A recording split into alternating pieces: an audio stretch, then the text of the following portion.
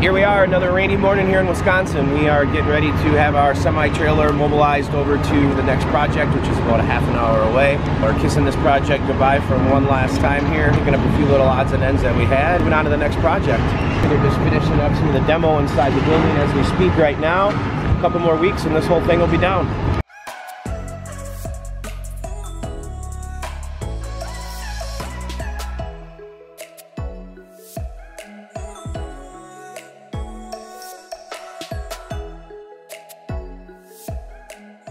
Here we are today. We're getting mobilized to a primary jaw crusher. Needs a maintenance paint job on it. Built about four years ago. Some rusting through, coating at a few different areas. We need a fresh coat of paint on it. So we are heading there right now. Semi's a couple minutes behind us. So we'll see you when you get there.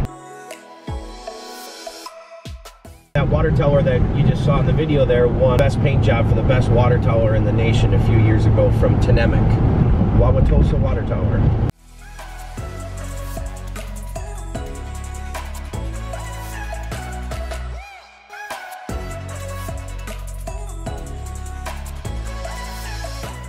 Got the trailer dropped off. Very important under this project. We're under MSHA rules, so we have to make sure that the wheels are chalked on the trailer. Jump inside here right now and see how good of a job the driver did. See how much stuff's uh, fell out of the cabinets. The magnets, these are the ones that they lock. Once this door is locked, all these are locked then. So we love our magnets. There's everything we got to get taken out of here. A lot of junk, a lot of things to organize. We'll be back here tomorrow, get everything cleaned up. God bless the USA. Ben Kuehl calling. Pulling on site here today and wanted to coordinate with you um, some of our work schedule this next week here for the repainting. Have my semi dropped off here right now today as we speak. There's a water truck that I'm going to park it right next to. Getting ready to leave the plant as we speak right now. This is where we're going to be starting work here this next week Wednesday for approximately two weeks. The goal is to get this done by June 1st. However, with the weather coming up here this spring. It might not be a full possibility to have it completed by June 1st, but what we will do is we will complete the areas where we don't have to redo our work twice. Get all the pressure washing done, start painting, we'll get as much painting in as we possibly can, and uh, leave the easier stuff till the end.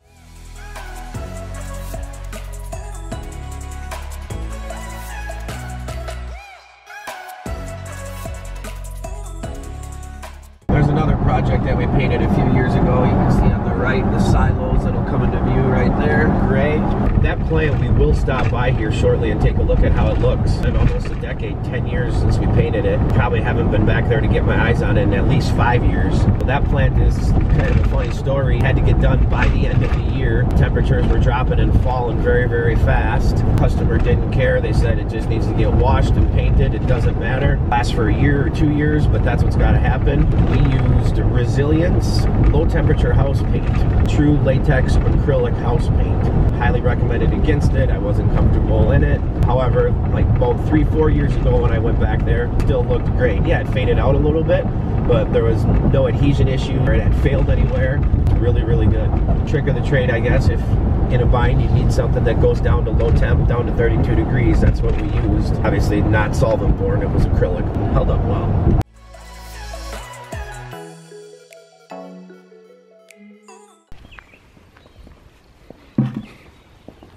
All right, here we are this morning, taking a look at what Chooch got done yesterday. You see he was sanding down any of the rough spots or any of the spots that were a little bit of stain was left from when we stripped it the first time. We have just a little bit of minor sanding to finish up along this bottom edge down there where there's still a little bit of stain left. And today we'll be applying the brightener, the Wolman product, mixing it up, spraying it on with the battery powered garden sprayers, letting it dwell, and then rinsing it off. Come around to the front of the house, the dormers we stripped yesterday. Take a look at that. Looks great. I'd say 98% of all the stain came off. A couple little areas to the left of the window, the vertical beam that goes up and down. You can see there's a little bit there that left didn't come off real well, as well as this far side. So that will sand those little spots off and then we'll get ready to brighten everything up. So here we are getting ready to apply the uh, Wolman deck and fence brightener.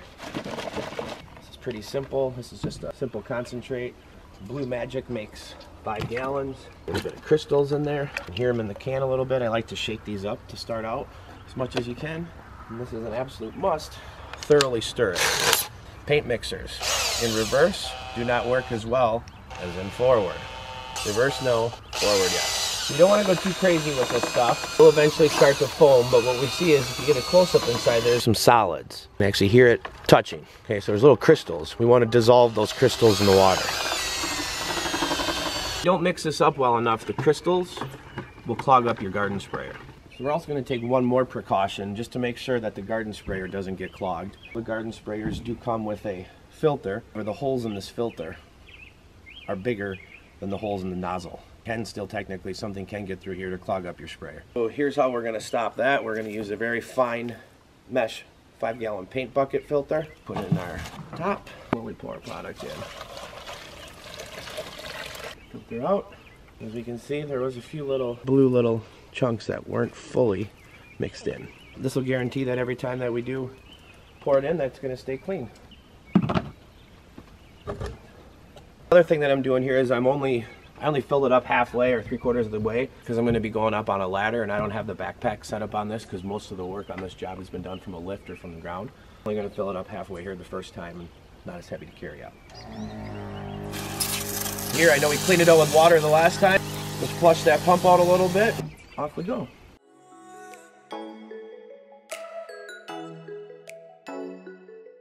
So whenever we're working on a ladder, we always want to make sure that we trigger the gun down, not up. When it's up, it has a tendency to want to push us off the ladder. Point it down, your arm absorbs that.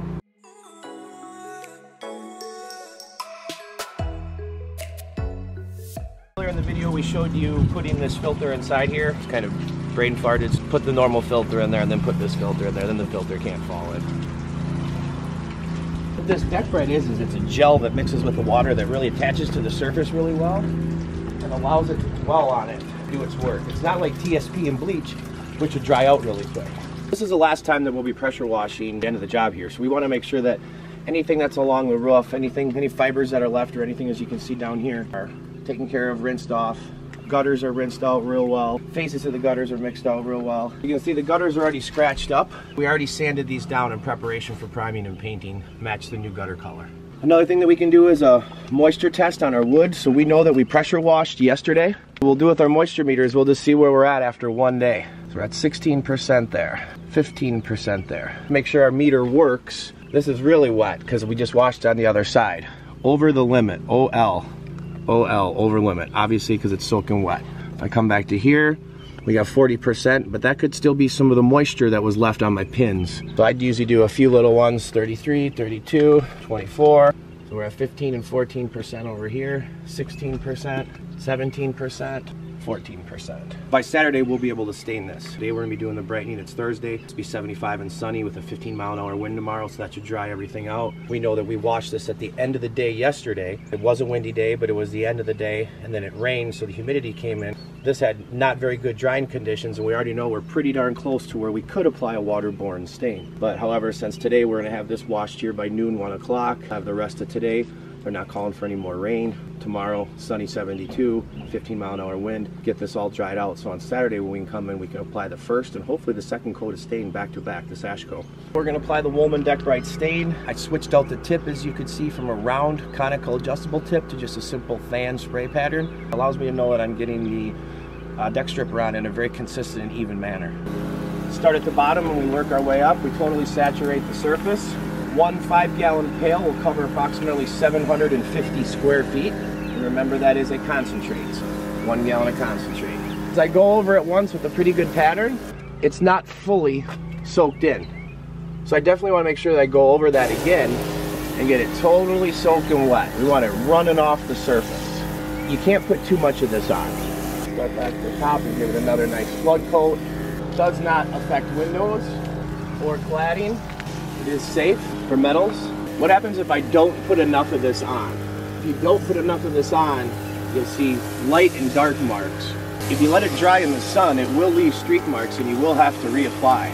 So another thing, as I mentioned, the last time that we're going to be pressure washing is going to be here shortly when we rinse this off. So up top here on the soffit, you can see a lot of the wood fibers are still in there. I'm going to lightly wash those out just to make sure that that's the last time that I have to touch that soffit. The DeckBrite has a 10 minute dwell time. After 10 minutes, We'll get the pressure washer going on it. Switch down on tip sizes from a wider fan, with that was what we used to strip with, to a narrower fan. It's gonna allow me to rinse a little bit faster, a little bit more angled control of my water so I can exactly see when I'm rinsing off. I also turned the water temperature down to about 120 degrees. Really not necessary for hot water for the rinsing of this product. Be rinsed with cold water too as well. Not recommended with a garden hose. I've never personally tried it, but I've used enough garden hoses to know that you'd really have to get a lot of water on there. We are using just a little bit of pressure with the pressure washer to make sure we're getting this brightener out all these wood fibers. Today's really a perfect day for applying this product. Trees, there's absolutely no wind, overcast, cloudy, and about 55 degrees, which it's really allowing the product to dwell on the surface and not dry out. The longer it sits on there, the brighter it can potentially get. So after that first gallon, the last part of it here, we can kind of see what was left inside there. Little crystals. So this was not dissolved. It's almost like little ice cubes. They don't hurt you or anything, but you can kind of bend kind squash them between your fingers. So make sure that it's really, really stirred well. It must have been maybe one left over from last year's. So we want to make sure that that's out of it.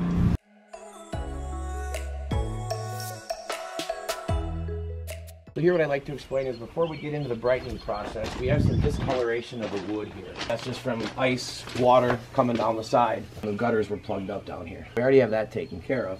But this bleeding in little staining areas, you probably wouldn't even see it when we go to stain over it. But we are going to put the wood brightener on it first.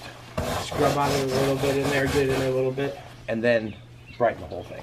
Here we are, we're going to start at the bottom and we're going to work our way up. We're going to pick a log that's more than likely at, at the top of this corner of the beam of the house here that's going to come across. We can do it section by section at a time. It allows us to make sure that the product dwells for long enough, the minimum of the 10 minutes, allows the product not to dry out. We don't want to get too far ahead of ourselves. And allows us to move methodically one at a time. We don't want to start at the top and move our way down. If we did that, it's going to streak. The whole side's going to streak because the brightener is going to be soaking down onto the wood that hasn't had brightener applied yet. Those streaks will be left, so we don't want that. Here we're going to just spray just this area right here, like I mentioned before. We're just going to give a little scrub. So as we continue to spray, we're going to do a close-up of the wood so you can actually see that the wood is soaking up every bit of it. If I go real fast like this, you can see dry spots, dry spots. So one section at a time. Let the sprayer do the work. It's all about flow. What I found is that if you do two coats on it back and forth, it tends to wet the surface better. Where if I just go real slow like this one time, you'd seem to waste a little bit more material. So this wood has weathered. Last fall, we got froze out. Too cold to get the work done. So this wood has sat all winter long, since last November up until the middle of uh, May here right now. It has mill glaze on it and it has turned gray streaks of gray up on top. Only the top log because that's where the sun hits, usually not the bottom. So I'm going to pick right to the top of this gutter to where I'll stop. Used to apply this with an airless paint sprayer to speed up the process, but in reality, battery-powered sprayers work much, much better. Less atomization, don't inhale these fumes. These railings have also sat since last winter. We want to remember that we only apply as much product as we know that we can rinse off in 10 minutes.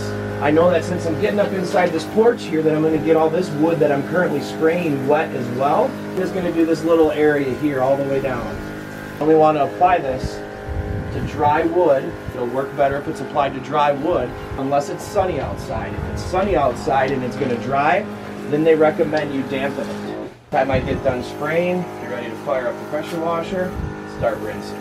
You know, days like this, since it's no wind, no sun, overcast. Just got done raining. It's a perfect day because this stuff is not drying out at all. Where I first started, if we would have done that in the direct sunlight, might have had to go back if we waited longer than that 10 minutes, spray one more quick mist coat on it, keep everything activated real nice. Another big important thing to realize is that since last year we didn't get this quite finished up, I don't want to intentionally try to get this spray over onto the other side of the house. So what I did is I wetted down the other side of those logs. I take extra special attention. Anything that ran over to the side, gonna rinse that off here shortly.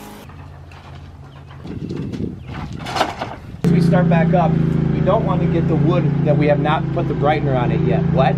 So if I go and start trying to rinse off that top log at this angle, I'm gonna get all the water up top and those logs are gonna be wet. So then when I apply brightener to them, it's not gonna soak in as much. I'm gonna get up on it, I'm gonna wash down, everything down as much as I can. To mention. We've got our hot water pressure washer going today, our hot box. This takes a couple minutes for the water to start getting warm, okay? So always make sure that you remember that when you're washing it.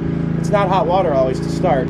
Cleaning consistently, I'm just gonna wash the first board for a little bit, overwash it till the water heats up and then move on.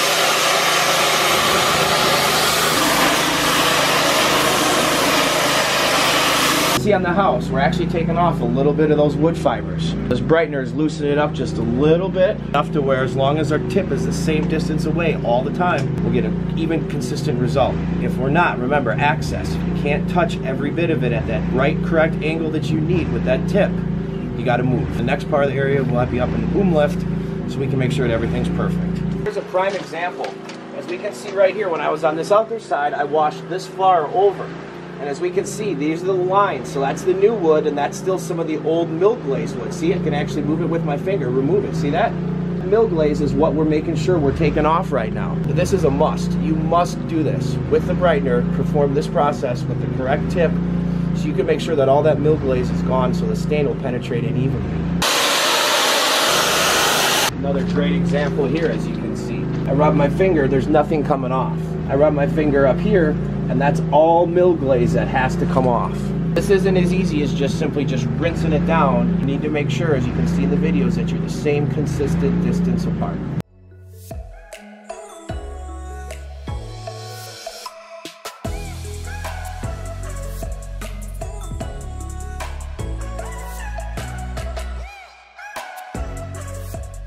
So there we got our section cleaned, our lower section. See everything up top stayed dry. So now we're gonna go up top and we're gonna make three more moves. We're gonna make this into three different areas. We'll do straight above me next. Apply the brightener. We'll move over to the other side. We'll apply the brightener there too as well. And then we'll do is we'll rinse everything down at the very end. Again, it's not drying today, perfect conditions. We're gonna do this full section with the brightener too as well. Up and over, come right straight down. This is going to take a little bit more moving once we start washing. Right now it's easier to put the brightener on because I just have to make sure the wood's wet. I don't actually have to cut any of that wood off, the mill glazing off with the wand. This is going to go about three times or four times as fast as the actual washing and rinsing itself.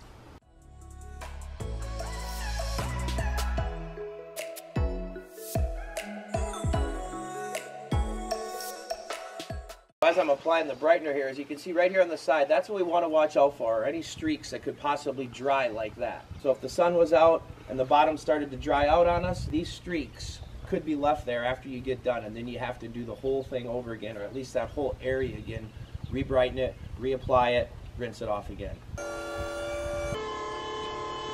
Here, as I mentioned up top, we have our brightener applied from this log up. So I don't want that brightener to run down onto the stuff that we've already brightened and leave streak marks. So I'm just making sure. Now, if this was a hot sunny day, I would have wanted to had somebody down here with the pressure washer turned on as often as needed so it didn't dry out, just keeping them wet. So this has been brightened and washed. You can see all the mill glaze that's white up there right now. You can just absolutely see the difference. Brightener's doing its work, softening up that mill glaze, and then we're rinsing it off. Pressure washing from a basket tip of the day. Trying to fight your line all the time. I want to make sure that I can pull out enough line. I don't have to fight it, especially at these rougher angles. So I usually give myself about six feet. Gotta have a clamp. Clamp around it. Now we're good to go.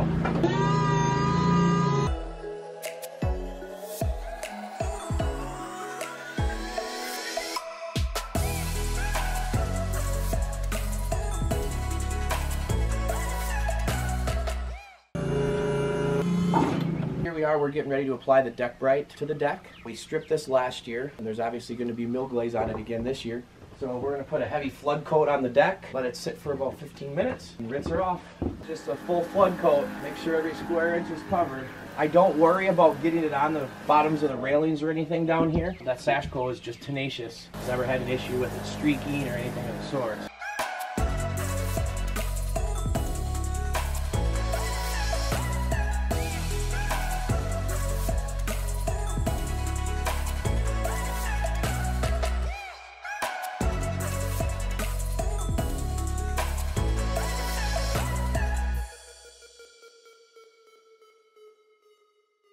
Hope you enjoyed the video today. Make sure you hit that like button and subscribe to our page. As we all know, surface prep's the most important thing. Doing it the right way the first time, especially when we're applying a one-time stain on this house. It'll never be stained again. It'll only be clear coated with the Sashco system. We want to make sure that everything is perfect. Access is most important. Attention to detail is important. Keeping that pressure washer nozzle that exact distance away from it on every single square inch is going to be the you know the difference from a okay job to a absolutely perfect job. Stay tuned. We got a couple days here of dry time now. Content will be low enough and we will be able to start our stain process and hopefully get two coats of the Sashco. Stay safe.